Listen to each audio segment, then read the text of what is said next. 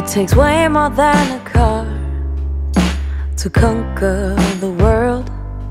It seemed a pretty good start when I was a little girl.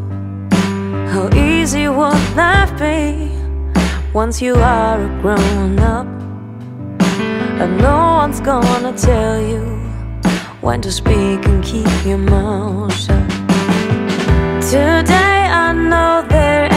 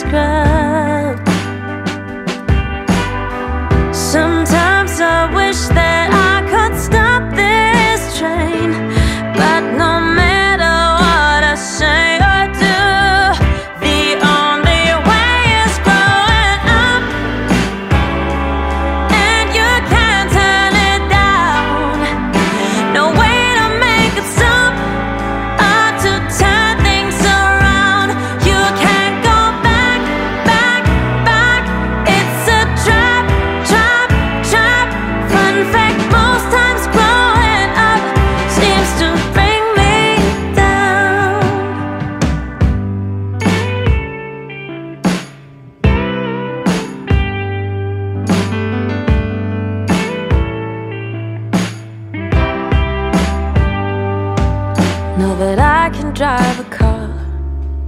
I feel smaller than before. Can go anywhere I want, but don't want to anymore. Should I take the road that's traveled or the highway to the sea? Anyway, I'm stuck in traffic. Shut the door and turn the key. Sometimes I wish that I could stop